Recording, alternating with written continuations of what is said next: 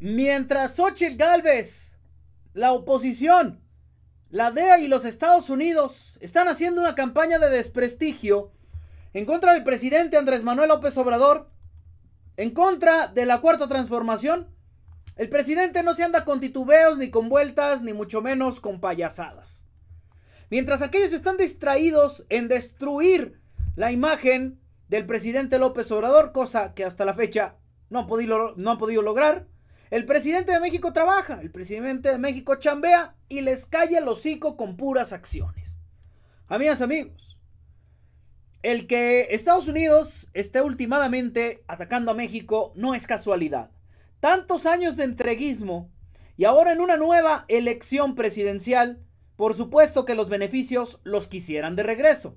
Sin embargo, aunque tienen a su candidata actualmente allá en Nueva York dando la vuelta, es decir, la candidata del PRI, Xochitl Galvez, y mientras ella ataca al presidente de México desde allá, difunde notas falsas que después fueron desmentidas por los mismos medios de comunicación que la, que la, eh, que la redactaron, no, lo que los de, no los, los que difundieron, porque los que difundieron ni siquiera se han repetido ni poquito a pesar de que saben que es una noticia falsa.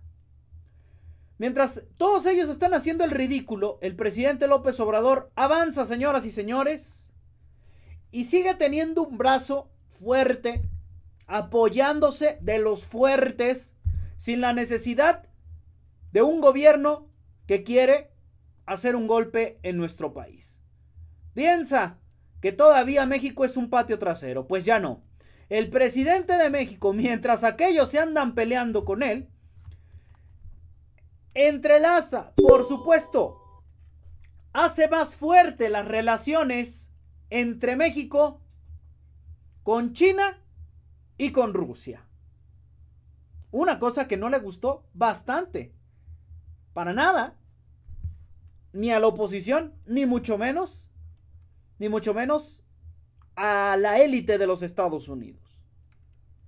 No es casualidad que la DEA le aviente tirria al presidente López Obrador mientras se estaba llevando a cabo una reunión entre el presidente López Obrador y el embajador de la reunión china. En una reunión con, con el embajador de China. Mire, Vamos a ver, el presidente López Obrador da a conocer a través de sus redes sociales la visita del embajador chino. Y justo cuando estaban eh, en esta reunión, el mismo día se hizo el nado sincronizado entre grupos de oposición entre medios de comunicación para tratar de decir que Andrés Manuel López Obrador recibió que dos millones de dólares y no sé qué tanto. Me da mucho gusto recibir al ciudadano embajador de la República Popular de China, señor Rom, que está aquí con nosotros. Eh, ya hemos tenido la oportunidad de conversar. Como pueden ver, es una persona joven y yo agregaría muy inteligente y son muy buenas las relaciones que tenemos con el pueblo y con el gobierno de China. Estamos agradecidos por el apoyo que recibimos desde la pandemia, no se nos va a olvidar, y ahora también eh, nos están ayudando a conseguir enseres domésticos para damnificados de Acapulco y Coyuca están cumpliendo eh, puntualmente con todos los compromisos. Por eso me da mucho gusto recibirlo aquí en la oficina. Señor presidente, con mucho gusto le quiero entregar la mascota oficial del gobierno chino para el año de dragón, que empieza el 10 de febrero. Eh, es un símbolo de la buena suerte. De hecho, ese dragón tiene el nombre de dragón de buena aventura. deseamos a través de esto eh, prosperidad, paz y también buena cosecha para México. Muchas gracias, embajador. Gracias. Y un saludo al presidente. Muchas gracias. Y desde luego un abrazo cariñoso al pueblo hermano de Chile. Ahí lo declarado eh, por los dos, por el presidente López Obrador, que recibió a Shanrun, embajador de China en México, en donde incluso le entrega en agradecimiento y por supuesto en esta coordinación que se tiene entre los dos pueblos, eh, el dragón, ¿no? Este dragón eh, en simbolismo, ¿no?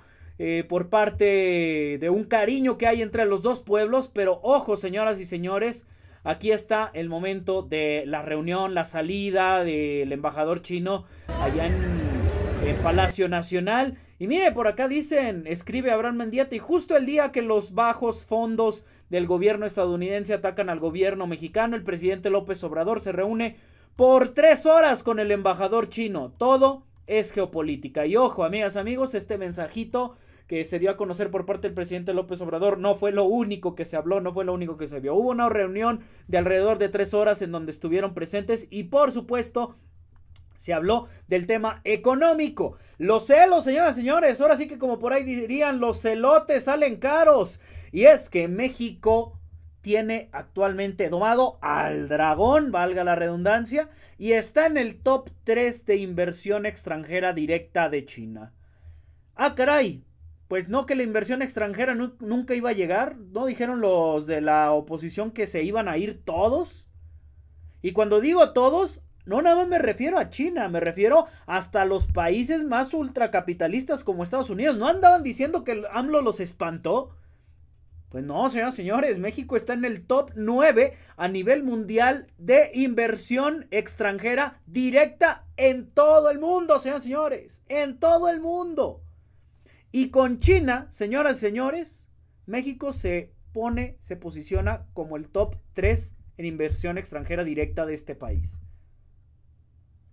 El país que actualmente tiene la batuta económica del mundo tiene número 3 a México.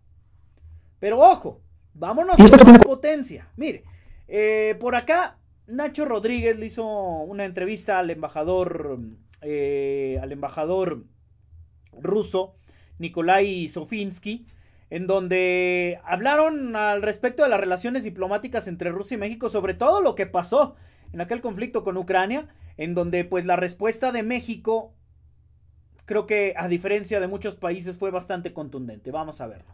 Cuando está el conflicto entre Ucrania y Rusia, sí, cuando todos los países empiezan a decir, vamos a cortar relaciones, vamos a apretar sanciones, ¿no? Empiezan a sancionar. Y bueno, el México dice que está muy en desacuerdo, obviamente, con, un conflicto armado cualquiera, pero que no iban a cortar relaciones. Se va a permitir ya que los rusos, por ejemplo, los aviones rusos llegaran a México, ¿no? Algo que en Europa se impidió. Y bueno, al final, pues, este, nunca se cortó, ¿no? El, el, el trato comercial, el trato de aviaciones, supongo la expedición de visas y todo eso. ¿Qué, cuál, qué, qué, qué le comentaron? Ahí? O sea, ¿qué, ¿usted cómo vio también esto? O allá también en la Cancillería rusa. La postura de México sobre el conflicto, eh, seguimos esta postura, el desarrollo de esta postura, y entendemos que México otra vez eh, tiene una presión muy grande de Washington en estos asuntos, y eh, la resistencia que demuestra el gobierno de México a esta presión causa respecto grande.